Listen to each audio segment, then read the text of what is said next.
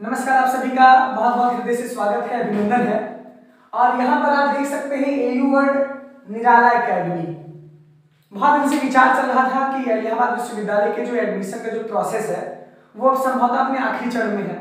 और इस वजह से अब आपकी एकेडमी के बारे में आपसे विषय में चर्चा करने आया हूँ। एकेडमिक का मतलब ये है कि अब सीधे जो बातें होंगी, वो आपके इलाहाबाद विश्वविद्यालय के मेन कैंपस में जो भी चीज़ें घटित हो रही हैं आपके एकेडमिक को लेकर आपका पठन पाठन किस तरीके से चले, उस विषय पे आज आपसे मैं चर्चा करने आया हूँ और उसका पहला चरण आज से शुरू होने वाला है। इस प्लेटफॉर्म का नाम रहेगा निराला अकेडमी एजू वर्ल्ड एक नया इनिशिएटिव है। आप सबकी शुभकामनाओं और आशीर्वाद का आकांक्षी हूँ और आपके स्नेह और प्यार का भी मैं आभारी तो पहले से ही हूँ और इस बार आपके बीच में आया है B A part text book का नाम। बहुत लोगों के मन में सवाल चल रहा था। इलाहाबाद विश्वविद्यालय में दाखिला हो गया है। कक्षाएँ आपकी ऑनलाइन चलेगी। ओमिक्रॉन की वजह से जब तक विश्वविद्यालय नहीं खुलता है, तब तक आपकी कक्षाएँ ऑनलाइन चलेगी। मैं अभिनंदन द्विवेदी कला संज्ञा इच्छा संघ इलाहाबाद केंद्रीय विश्वविद्यालय। आज आपके लिए बी ए पार्ट वन की जो भी टेक्स्ट बुक है, उसकी लिस्ट लेकर आया हूँ। अभी इसमें कुछ विषय का लिखा गया है, उसके बाद फिर मैं आपको अगले और विषयों का बता दूँगा। कुछ मैंने लिखा भी है कॉपी में। तो इस सारी टेक्स्ट बुक को मैं अपनी तरफ़ से बता रहा हूँ। साथ ही साथ टीचर के कंसल्ट से जो भी और स्टूडेंट आपके सीनियर रहे हैं, उनके कंसल्ट से मैं सारी बुक का नाम आपको बता रहा हूँ। अगर आप अभी इससे नहीं जुड़े हैं तो आप जुड़ जाइए। आपके लिए सही रहेगा, साथ ही साथ हमारे लिए भी आपसे जो सामंजस्य बिठाने का, समन्वय बिठाने का जो काम रहेगा, वो और आसानी से हो जाएगा। पहले तो बात कर रहा हूँ कि आप अगर इनरोलमेंट करवाने आइएगा, कक्षाएँ आपकी ऑनलाइन चलेगी। अभी ऑफलाइन चलेगा कोई चांस है नहीं। अगर आप इनरोलमेंट करवाने आइएगा तो फिर इसी के साथ साथ आप बुक ले लीजिएगा, कटरा के बाज़ार से। कटरा में बहुत बड़ी बाज़ार की दुकान है किताब की तो वहीं से आप बुक ले लीजिएगा। इसके साथ साथ पहले तो मैं आपको ये कहना चाहूँगा कि आप सब पहले जो सेकेंड हैंड बुक्स हैं, यानी कि जो फुटपाथ के किनारे बुकें पड़ी रहती हैं, वहाँ पर भी एक से एक किताबें हैं। जो किताब आप एकदम नहीं जाके लेंगे बाज़ार में, वही किताब आपको आधे रेट पर फुटपाथ पे मिलेगी। सारी की सारी चीज़ें वही सेम टू सेम रहती है। बस संस्करण बदलता चला जाता है, लेकिन जो मटेरियल होता है, जो मैटर होता है, वही सेम मैटर रहता है। अब हम बात करें फिलोसफी की। सबसे पहले एक विषय से मैं बात करूँगा। ये है पेपर वन ये है paper two for Hindi medium ये है paper one paper two for English medium तो इस वजह से सबसे पहले आपकी प्रायोरिटी ये होनी चाहिए, जब आप अपने विभाग में इनरोलमेंट करवाइए। इनरोलमेंट करवाने के बाद आपका नाम आपके ग्रुप से ऐड होगा। फिर उसके बाद फिर आप किताब लेने तुरंत कटरा जाइएगा। कटरा से आप किताब लीजिएगा। उसी के पहले इलाहाबाद विश्वविद्यालय के मेन गेट के सामने बहुत सारी किताबें को दुकानें लगी रहती है सेकेंड हैंड बुक की। तो पहले सेकेंड हैंड बुक में तलाशिएगा, खोजिएगा। अगर आपकी किताबें वो मिल जाती हैं, तब आप उसको पढ़ सकते हैं। इसी वजह से मैं कह रहा हूँ कि जो इकोनॉमिक जो वीक है, क्योंकि बहुत मध्यम परिवार से हम लोग आते हैं तो हम लोग सीधे नई बुक पे धावा बोलते हैं। नई बुक्स काफ़ी महँगी होती हैं तो इस वजह से आप सभी सेकेंड हैंड बुक पहले सर्च करिएगा, वहाँ नहीं मिलती है, तब आप नई किताबों की दुकानों पर जाइएगा। फिलोसफी की बात मैं करूँगा, क्योंकि फिलोसफी मेरा सब्जेक्ट रहा है। फिलोसफी एंशियंट और हिंदी, और इस समय मैं हिंदी विषय से पीजी कर रहा हूँ, यानी पोस्ट ग्रेजुएशन कर रहा हूँ। मैं जिस क्लास की बात करने आया हूँ बीए की, उस फैकल्टी का, मैं फैकल्टी का रिप्रेजेंटेटिव हूँ। और सबसे पहले शुरुआत करते हैं फिलोसफी से। फिलोसफी में हिंदी माध्यम से आप पहले पेपर में लीजिएगा, हृदय नारायण मिश्रा, यानी पहला पेपर फिलोसफी विषय का नीति शास्त्र का होता है। नीति शास्त्र यानी कि एथिक्स उसको इंग्लिश में बोलते हैं। और जो यूपीएससी का फोर्थ पेपर होता है जीएस का मेंस जो पेपर फोर्थ होता है, वो होता है एथिक्स का। तो बहुत सारी चीज़ें आपको इसमें सीखने को मिलेगी। बहुत सारे जो आपके अध्यापक हैं, वो आपको संगमलाल पांडे प्रिफर करते हैं। कि आप संगमलाल पांडे की बुक लीजिए। लेकिन हृदय नारायण मिश्रा की बुक में आपको बता रहा हूँ बहुत दावे के साथ मैं कह सकता हूँ कि अगर आप इस बुक को पढ़ेंगे तो बिल्कुल भी ऐसा टॉपिक नहीं है कोई एक टॉपिक जो आपसे छूट जाए। मैंने इस बुक को लिया था। सब संगमनाथ पांडे लिए थे, क्योंकि उसकी भाषा बहुत ज़्यादा क्लिष्ट है, बहुत ज़्यादा टफ लैंग्वेज है। आप हृदय मिश्रा की बुक लीजिएगा, मेरे कहने से। क्योंकि मैंने उसको पढ़ के साठ से बासठ नंबर पाया था। मेरा फिर मेरा सेकंड पेपर में सिक्सटी था, और फ़र्स्ट पेपर मेरा सिक्सटी नंबर था फ़र्स्ट ईयर में। तो इस वजह से आप हृदय मिश्रा की बुक लीजिएगा, हिंदी माध्यम में पहले पेपर में। दूसरे पेपर में आप दत्तायन चटर्जी, लेकिन इसके पहले आपको मैं बताना चाहूँगा कि इलाहाबाद विश्वविद्यालय के फिलोसफी विभाग में प्रोफेसर ऋषिकांत पांडे सर हैं। डायमंड ऑफ़ इलाहाबाद यूनिवर्सिटी यानी कि अगर आप उनकी क्लास ही करेंगे, तब आपको बुक पढ़ने की कोई आवश्यकता ही नहीं रहेगी। वो अपनी क्लासेज यूट्यूब पर लेंगे और सारे के सारे विद्यार्थी जिनका विषय फिलोसफी है मैं उनसे कहना चाहूँगा कि आप चाहे जिस सेक्शन में ऐड हो, उनकी क्लासेज आप यूट्यूब पर कर सकते हैं, चाहे आप महाविद्यालय के छात्र हो, चाहे आप मेन कैंपस के छात्र हो। ये जो मैं आपको बता रहा हूँ, ये महाविद्यालय वालों के लिए भी है। अब जितनी सूचना आपको यहाँ से दी जाएगी, वो सारी की सारी सूचना महाविद्यालय के लिए भी रहेगी और मेन कैंपस के लिए भी रहेगी। आज आपके एकेडमी के विषय में बात हो रही है तो पहला पेपर आप एथिक्स कर लीजिएगा हृदय मिश्रा की। दूसरा पेपर अगर आप ऋषिकांत सर की क्लास करेंगे तो क्लास ही आपके लिए बहुत सफिशियंट रहेगा और बाद में मैं आपको नोट्स प्रोवाइड करवाऊँगा। तब दत्ता चटर्जी की आप बुक ले सकते हैं हिंदी मीडियम में। इंग्लिश मीडियम में एथिक्स की बुक आप लीजिएगा विलियम लिली की। आप इंग्लिश मीडियम में जो एथिक्स की बुक है, आप विलियम लिली की ले सकते हैं। और सेकेंड पेपर में भी इंग्लिश मीडियम में दत्ता चटर्जी की चलती है। इंग्लिश मीडियम में बुक चलती है। फिलोसफी में। दूसरा पेपर पे हम आते हैं। दूसरे पेपर पे एंशियंट हिस्ट्री की बात हम करते हैं। एंशियंट हिस्ट्री में हम ले सकते हैं जय नारायण पांडे। पहला पेपर है जय नारायण पांडे का। इसके साथ साथ राम शरण शर्मा की भी बुक ले सकते हैं, लेकिन जे एन पांडे की बहुत आसानी है। पहला पेपर होता है आर्कियोलॉजी पूरा तत्व होता है। तो उस पहले पेपर में हम जे एन पांडे की बुक लेंगे, यानी जय नारायण पांडे की बुक हम लेंगे पूरा तत्व में।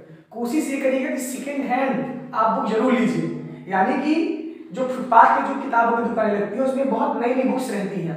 ये सारी किताबें पढ़ के जितने भी स्कॉलर्स हैं, वो दे दे के चले जाते हैं। जे एन पांडे की बुक आप लीजिएगा पहले पेपर में। पुरातत्व में, यानी आर्कियोलॉजी में। दूसरा पेपर है आपका एंशियंट हिस्ट्री में, प्राचीन भारत का राजनीतिक इतिहास।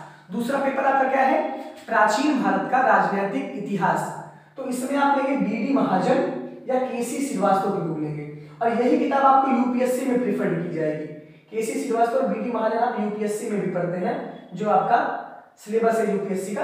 और जितना का जितना यहाँ पे सिलेबस है, और जो टोटल पूरा यूपीएससी का सिलेबस है आप इलाहाबाद विश्वविद्यालय में आप बिल्कुल भी ये चिंता न करिए यार। आपको पढ़ना है। आप पढ़ेंगे, आप बढ़ेंगे। आप बुक लीजिएगा, बीडी, महाजन या, दोनों में से बुक लीजिएगा।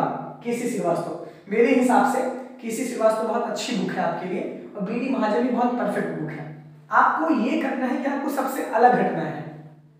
भीड़ बहुत आती है, लेकिन उस भीड़ में आपको एक चमकीला हीरा बनना है। आपको उस भीड़ का हिस्सा नहीं बनना है। उस भीड़ से आपको अलग बनना है। तो KC Srivastava B D Mahajan आप ले सकते हैं? सेकेंड पेपर अब हम बात करते हैं English medium English medium ancient history archaeology में एडवर्ड की बुक आती है. एडवर्ड की बुक आप लीजिएगा. इंग्लिश मीडियम में फ़र्स्ट पेपर में आर्कियोलॉजी एंशियंट हिस्ट्री में.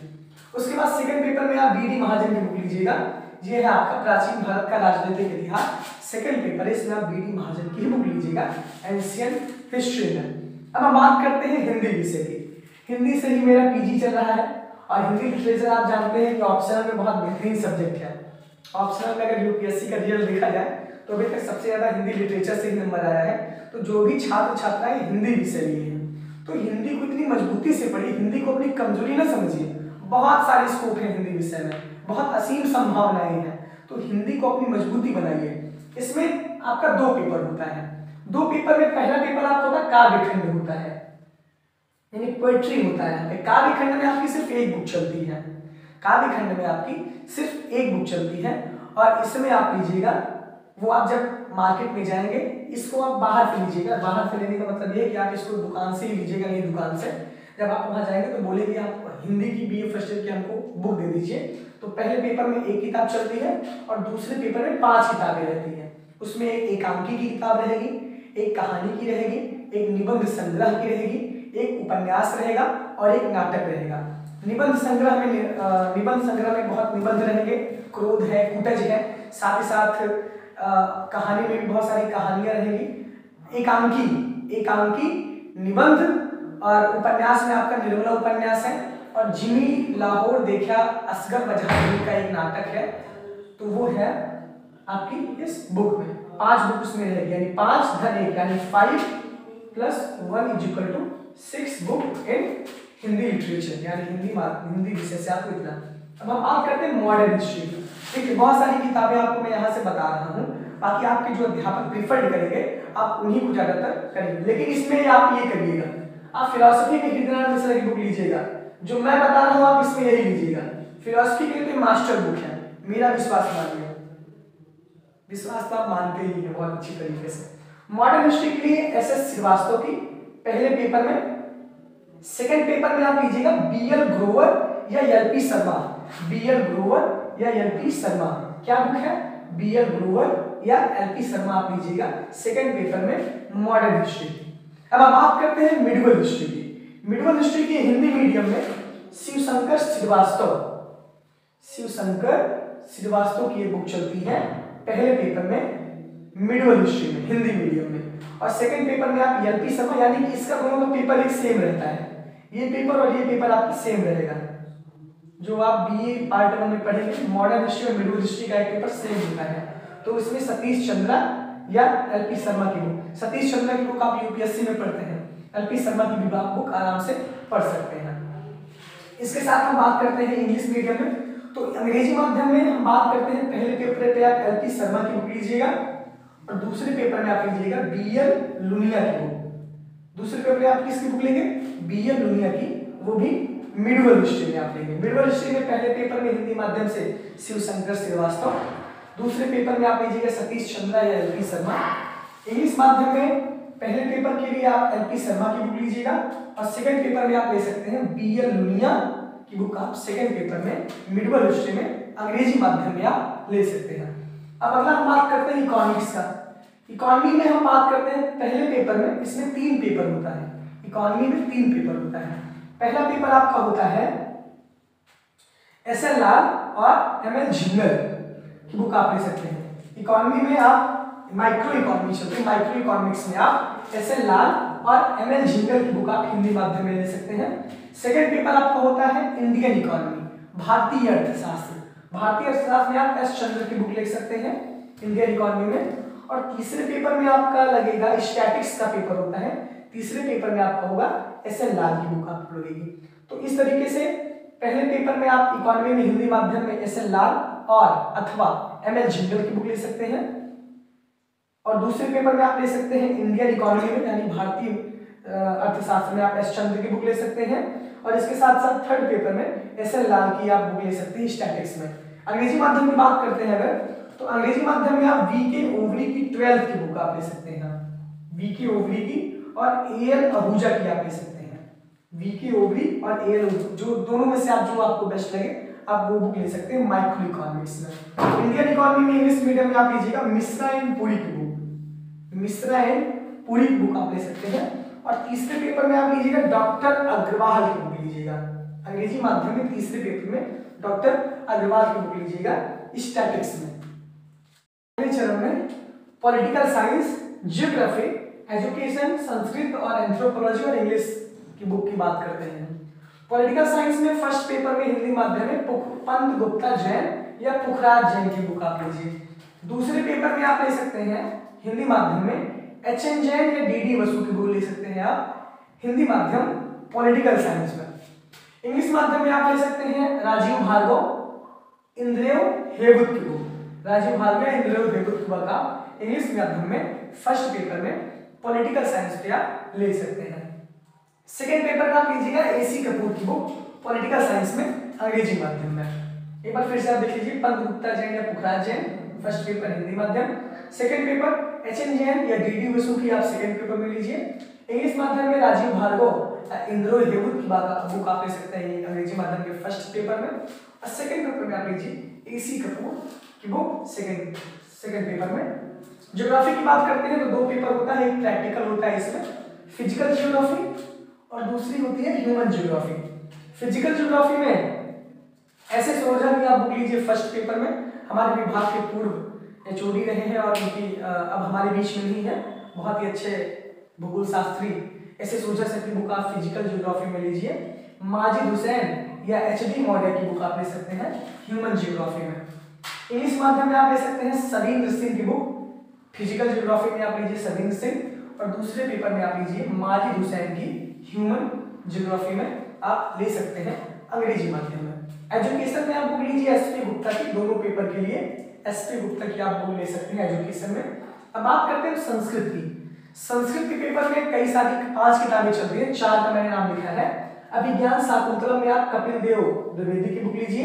अभिज्ञान शाकुंतलम में किराताजुलियम में आप लीजिए, राजेंद्र मिश्रा की। लघु सिद्धांत कौमुदी में आप लीजिए, आद्या प्रसाद मिश्रा की। और नीति सप्तम में आप आद्या प्रसाद मिश्रा की बुक संस्कृत में ले सकते हैं। जब आप जाएँगे मार्केट में, तब आप उनसे बोलिएगा, आपको वो बुक प्रोवाइड करवा देंगे।